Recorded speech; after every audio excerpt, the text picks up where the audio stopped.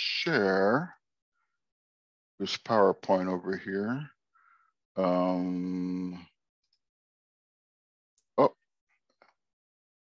So we see what? notes view right now. Yeah, let me, I hate when that does that. So let it me. happens to me all the time. Let me switch it. I'm gonna, oh, I'm gonna stop sharing. All right. And then I'm going to share again. I'm going to say this time I'm going to share screen two, and hopefully that will, when I start PowerPoint, that will fix it. Yes. Okay. see it now. All right. All right. Well, thank you everyone for for showing up today. Again, as Sam said, my name is Rob Owens. I am the ITC for the Bryan School of business and economics. And so we're just going to have two quick agenda items today because I know we don't have a lot of time. The first thing um, we're going to do is define inclusive teaching and inclusive teaching practices. I put a link in the chat. So if you have time right now, go ahead and click on that link and download the uh, inclusive teaching strategies reflecting on your practice worksheet because we'll be talking a little bit about that here in a second. The second thing we're going to do using that inclusive teaching strategies worksheet is explore the various ways that we can engage, engage in uh, inclusive teaching practices. One of the things I like to do when I'm um, doing these types of webinars, I'm more of a facilitator, so I will be asking questions and you know, including your voices in this presentation today if you want that. Like I know that a lot of us are probably already uh, practicing some level of inclusive teaching in our work. So again, um, that's me.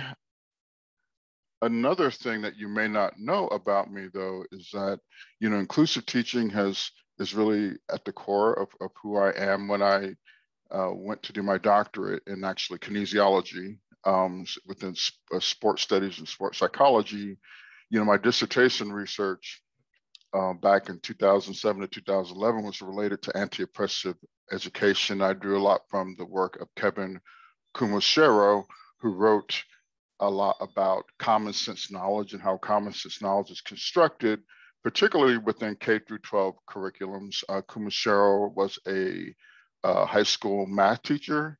Uh, he's also Asian, uh, Asian American, who's also identified as queer. And so he wrote a lot about his experiences and when it came to teaching and learning and how students would bring in certain ideas with them in the classroom that if, that could sometimes go unchallenged unless we ask them about, you know, their unless, unless we ask them about those ideas, right? So he talked about this notion of uh, the hidden curriculum, you know, things that you don't know that your students are thinking, right? And so in order for us to know those things, we have to ask them. So that's kind of started my kind of venture into anti-oppressive uh, teaching and, and what I'm now calling inclusive teaching practices. You know, I've done a lot of volunteer work um, related to my discipline and sports psychology. You can see it here. I'm not going to go um, through all of that, but this just gives you an idea of why I am very interested in this topic. I'm also, if you haven't taken the Clifton Strengths Inventory yet, I'm going to talk about that later. And the importance, I think, of understanding and knowing yourself when it comes to inclusive teaching. I am, uh, my top strengths are context, includer, deliberative, relator, and arranger. And I'll talk about that more here in a second. So the question is, what is inclusive teaching? Again, I like to include the participants in the workshop. So you don't have to unmute your mic, but if you can take a minute, what does inclusive teaching mean to you? Throw that in the chat, uh, and then we'll we'll continue from there. So take a minute or so, think about inclusive teaching, what it means to you, and throw that in the chat.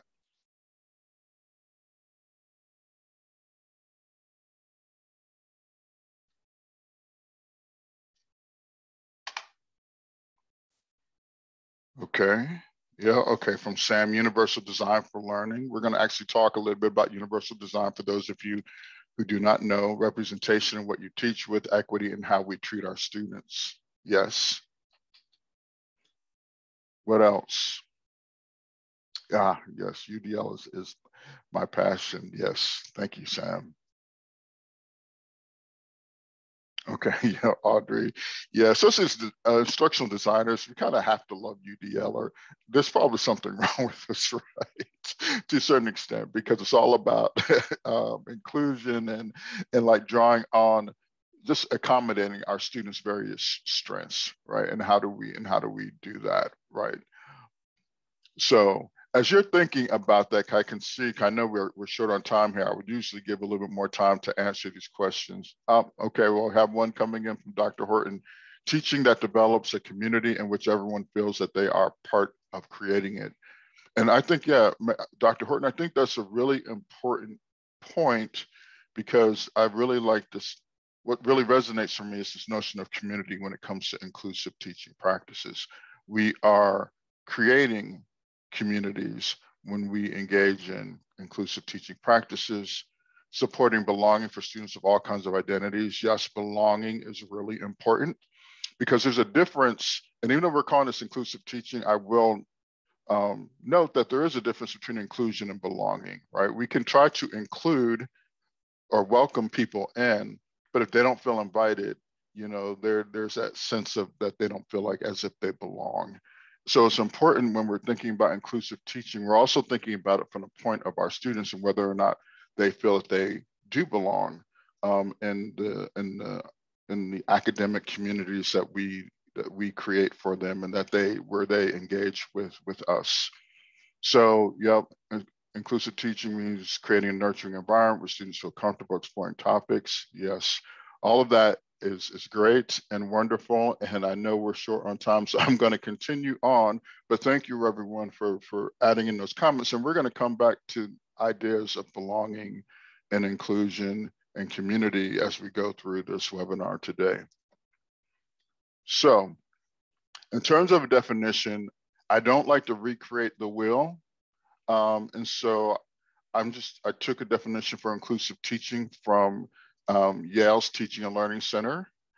And so we're talking about inclusive teaching refers to pedagogy that strives to serve the needs of all students, regardless of background or identity, and support their engagement with subject material. Uh, hearing diverse perspectives, uh, enrich, can enrich student learning by exposing everyone to stimulating discussion, expanding approaches to traditional and contemporary issues, and situating learning within a student's own context, right? You know, I'm going to come into that context thing too, because that's for me, context is very important. It was my number one when it came to Clifton strengths was context. Their own context while exploring those contexts. Students are more motivated to take control of their learning in classroom climates that recognize them, draw relevant connections to their lives, in response to their unique concerns. So it's just like everyone was putting in a check. Inclusive teaching is really about bringing students in, uh, attending to their diverse perspectives, uh, situating things within or learning within within particular contexts, creating belonging and and um, and, and community.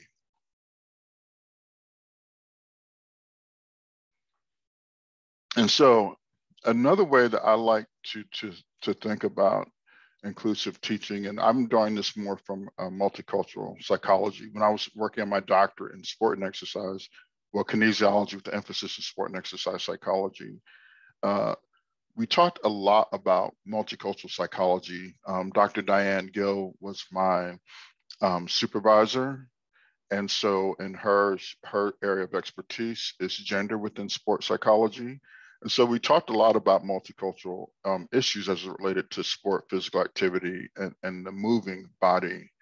And so in terms of multicultural psychology, another way for us to think about this as educators is that we need to be aware of how our cultural backgrounds, experiences, and practices influence our teaching practices. So that level of cultural awareness, not only of ourselves, but also of our students and the, the backgrounds that they're bringing into the classroom. Uh, we as educators need to recognize our limits of competency and expertise, like, you know, where, where are our blind spots, that's really important. We need to have that self-awareness in order to be effective um, educators when it comes to trying to be inclusive with our students. And then we need to be comfortable uh, with the differences that exist between ourselves and our students based on issues like race, class, ethnicity, and culture, but also based on other issues like learning styles and, and neurology, right? There's this like, you know, people, there are people who who are neurodiverse. And so it's important for us in thinking about particularly universal design for learning, how can we accommodate um, students of various backgrounds and not just say race, gender, uh, sex, sexual orientation, sexual, excuse me, sexual orientation, not sex. Uh, we'll focus on gender when we're talking about that. Um, and then, you know, how can we also accommodate students that have other that and that live in other types of identities based on um, their maybe physical ability or, or mental ability? How do we accommodate all those things? And so the, there are two main strategies in looking at that. One is that we want to incorporate diverse perspectives into our course content. Like I said, if you have downloaded the Inclusive Teaching Strategies worksheet, um, that's one of the areas where, where we're gonna, what we're gonna talk about and explore a little bit more.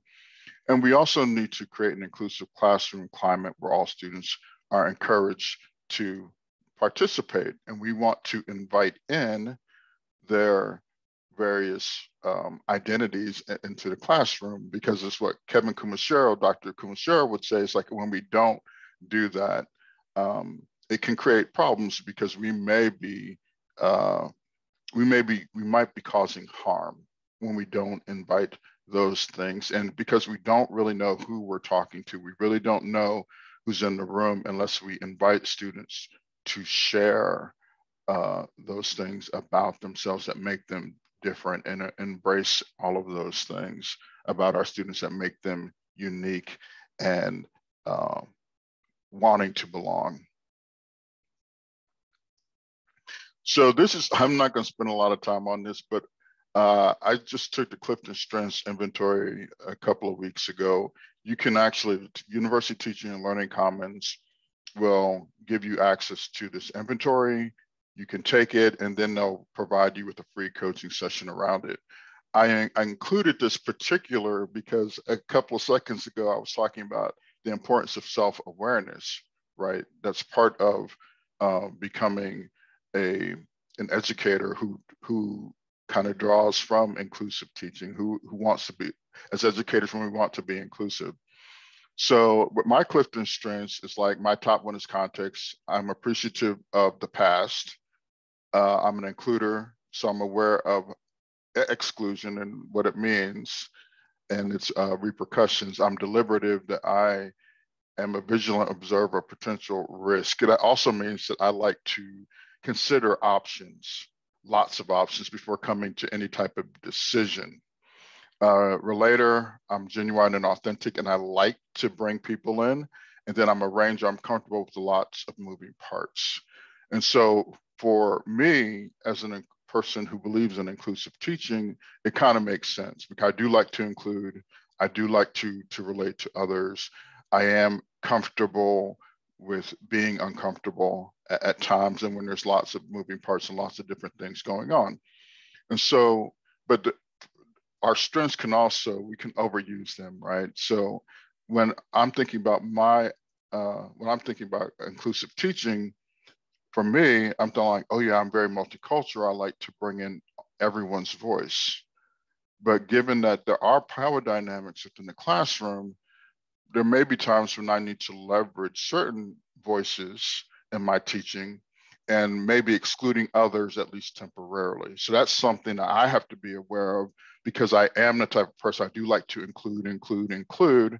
It's like when do I need to exclude? When do I need to elevate or amplify uh, a student's voice or students or, or particular students' identities when, when I'm when I'm teaching?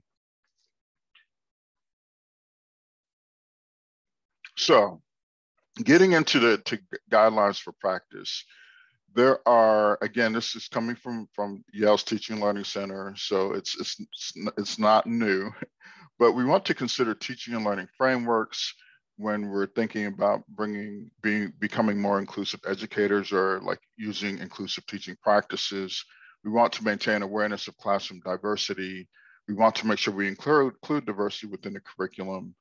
Uh, we want to cultivate that inclusive comment. We want to consider universal design principles. We want to solicit student feedback. It's just like what I said before. If we don't know about our students, we, it's hard for us to be inclusive. And then we need to review um, the literature.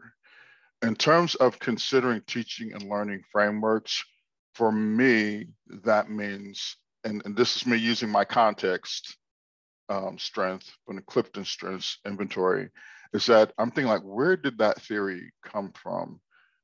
And am I using it in ways that can be be harmful to my students? For example, we live in a very individualistic culture.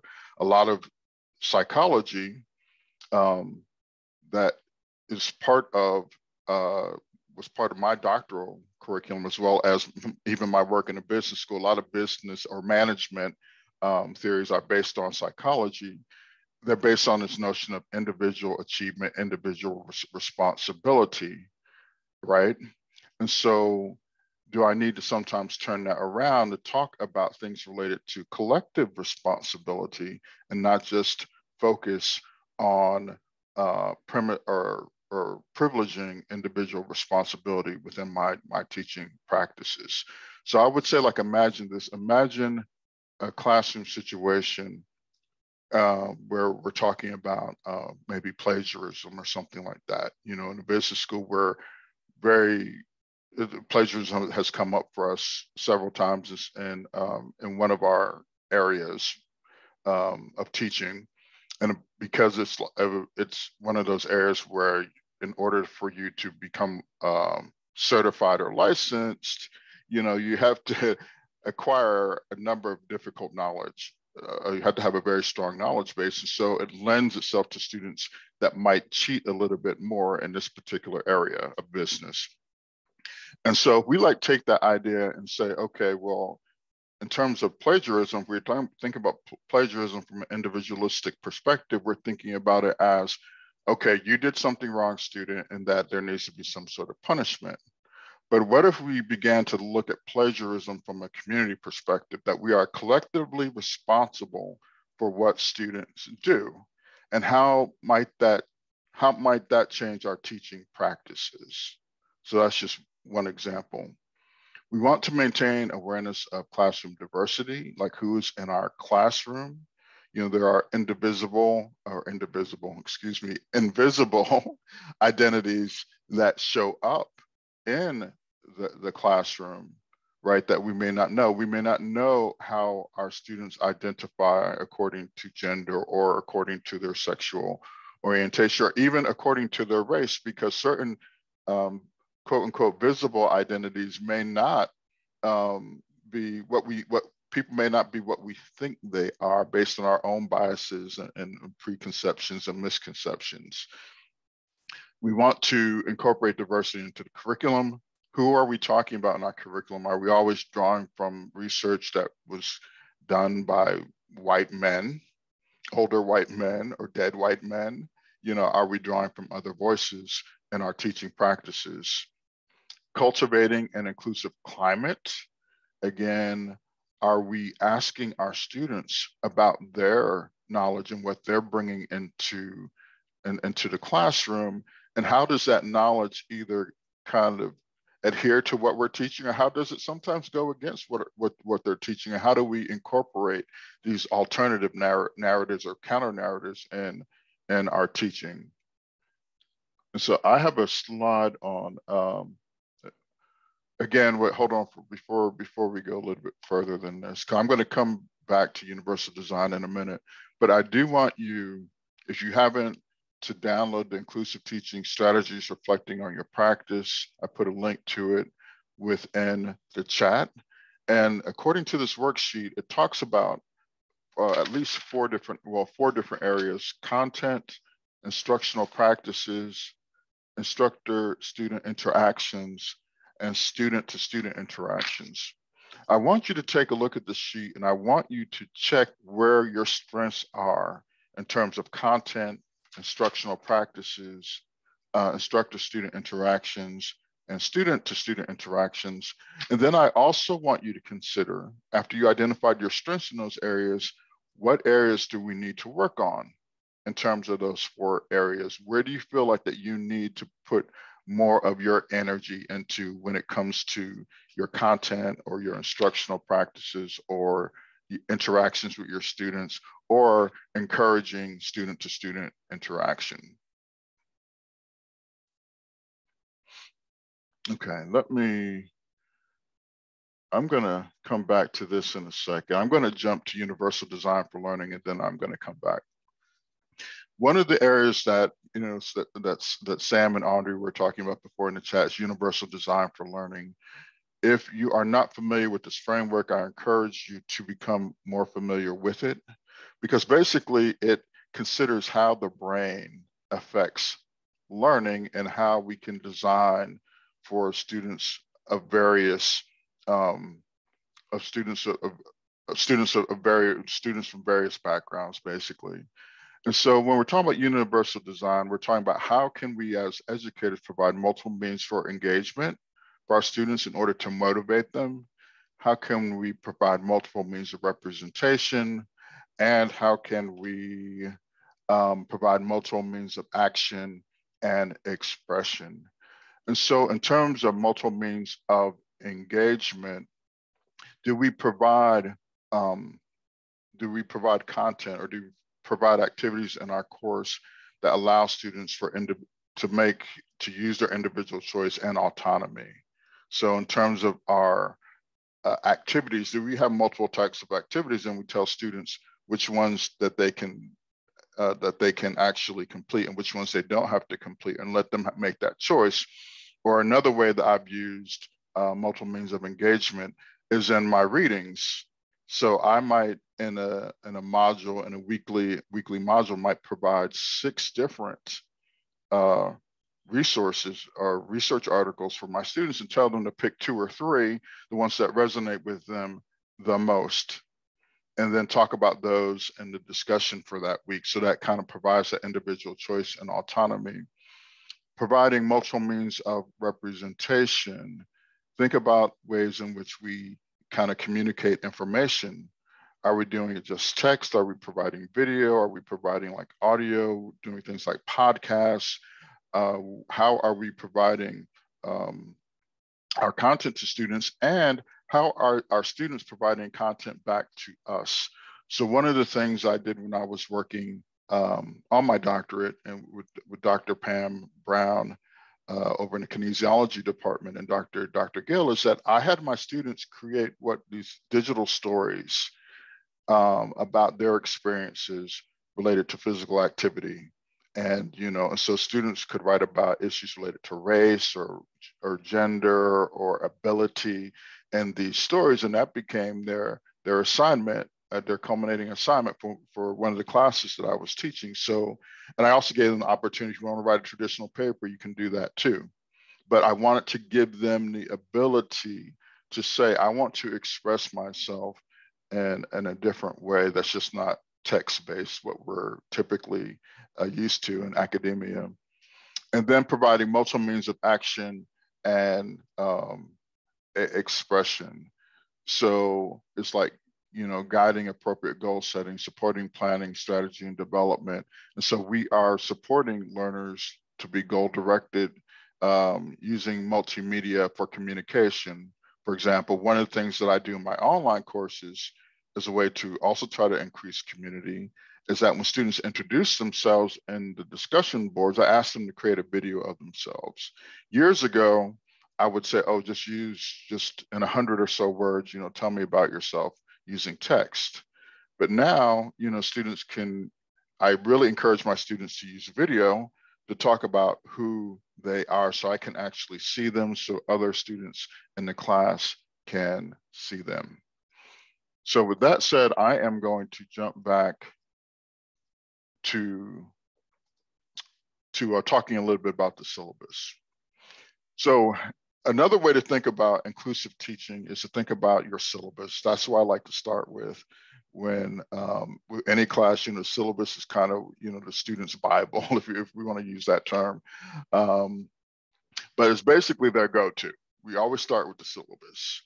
And so one of the things I like to include in the syllabus is diversity, inclusion, and counter, uh, counter power statement to talk to them about non-discrimination and, and teaching practices, and also provide them with uh, campus resources related to issues of, of, harassment or related to issues of mental health, like the University Counseling Center, like the Title IX officer, like UNCG Police. I also like to include a land acknowledgement statement in the syllabus. It's important, I think, for, for us to acknowledge that the lands that we are on were not are, are that we are that we that we came to this country that there are already people here. And that it's important to uh, acknowledge the indigenous populations on the lands that we are currently on. So i also include that in my syllabus. I also include a health and wellness statement to overemphasize include this a little bit in a counter power statement but to overemphasize the importance of physical and mental health and encourage my students to use the Student Health Center uh, when necessary. So I include a health and wellness statement. So I encourage um, you, if, if you would like to like use these statements in, in your syllabus. And when, if you, I teach mostly online, but uh, if you are teaching online like myself, uh, to you know cover this in the course overview video at the beginning of the semester, or if you're teaching face to face, to talk about this these issues on the first day of class and point them out because students are not typically used to these types of statements in, in the syllabus. Okay, and I know that we're kind of okay. We're just at the 12:30 mark, so that's good. We only have a only have a couple more slides, and then we can have a discussion. So mid-course evaluations, uh, this is something I like to use to solicit student feedback. Even though I'm calling it mid-course evaluation, it doesn't necessarily have to be done mid-course. You might do it four weeks into semester where you might ask the students what's going well, what needs to be changed. You might ask them um, questions related to you know the content and how they're thinking about the content and how how it's related to their previous knowledge that they have um, uh, attained in other courses and, and, and all of that. So you can do this more than once a semester. You can use Canvas to um, the survey feature in Canvas to, to get some anonymous feedback um, related to how your students are feeling and, and the pulse that on that they're where they're at basically at the moment, especially during this time of, of COVID. The last thing that um, that we, we talk about when it when it comes to inclusive teaching is what um, Yale's Teaching Learning Center called reviewing the literature. And so it's important for us in our teaching practices to think about two different things, at least in my opinion. One, are we keeping up with what's out there on our personal level? and on a professional level. So these are some of the books that I have recently read or currently reading. The Teaching and Learning Center has a literary circle. And so last semester we read We Will Not Cancel Us and Uncomfortable Conversations with the Black Man. I love both of those books. Uh, I was particularly um, enchanted with We Will Not Cancel Us because it talks about the harm of cancel culture because that's becoming so prevalent these days. Uh, I'm also reading How to Be an Inclusive Leader because when I teach a leadership course for the School of Business. And so one of the things I want to overemphasize with my students is that, you know, it's important for us to be inclusive as leaders. Uh, and then the other two books are something that I'm just starting to read just based out of interest. Um, one is on indigenous masculinities, and the other one is Ibram uh, Kendi's stamp from the beginning was basically is a history of, of race, racist ideas in America. The last thing I will say on this particular topic, and then we can open it up for questions and discussion, is that use the resources here on campus. Uh, University Teaching and Learning Commons has a great webpage related to inclusive teaching, pedagogy, pedagogy, and the curriculum. And so like I said, I participated in literary circles. There's also an EDI Institute. There are diversity EDU training modules. Um, and the other thing that's not listed on here, but I think should be listed on here is the, um, the inventory, um, that um, the, the strengths inventory, the Clifton strengths inventory that is. And so because again, I after taking that, it really opened my mind up to the to the person to who I am and the thing and the strengths that I tend to use and then maybe some of the strengths that I don't use as much. So I encourage you to visit UTLC's webpage to learn more about what's going on here at what's, what's going on here on campus and incorporate that into your teaching and learning practices. So with that, I know I ran through that very quickly, but are there any questions? There's no questions yet in the chat, but y'all are also welcome to in this discussion portion of it. Turn your cameras on, unmute, um, use the chat, whatever you feel comfortable with. Oh, thank you. Thank you, Maya. So one of the questions I would like to ask, because if it's fine if, if, there aren't any questions, one of the questions I would like to, to ask the group is, how are you using inclusive teaching practices in your work? Oh, thank you, Meg.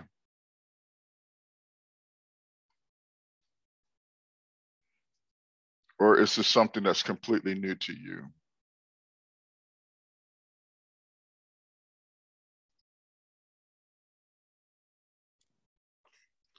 I do try to use inclusive um, teaching practices.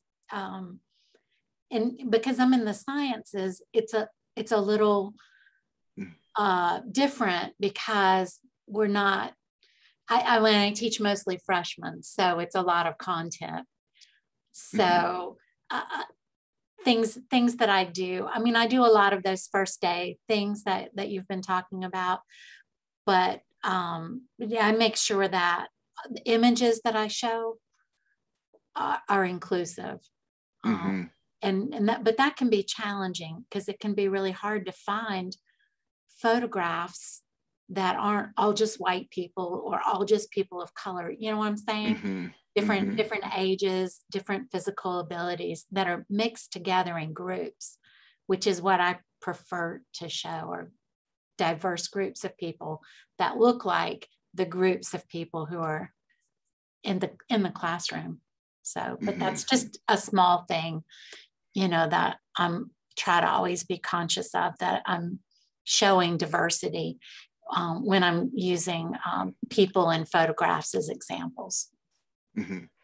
I think that's that's a very important thing because one of the things I learned during doing my dissertation research is that oftentimes uh, students like their identities to be incorporated in in teaching and so it's important for us to do that but there's also times too when we need to sometimes ch- challenge that and have them think um, outside the box. But I think that uh, that's like two steps down the road, right? So as educators, we first need to become comfortable with uh, diversity and inclusion and making sure that we are attending to the various um, identities that might be showing up in our work, but at the, at the same time, making sure um, that when we need to, we might privilege certain identities over others when it comes to our teaching and learning practices you know, particularly voices that have been marginalized or excluded in the past.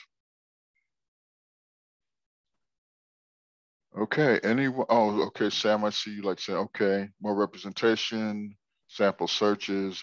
Also using, um, it's important to use inclusive language.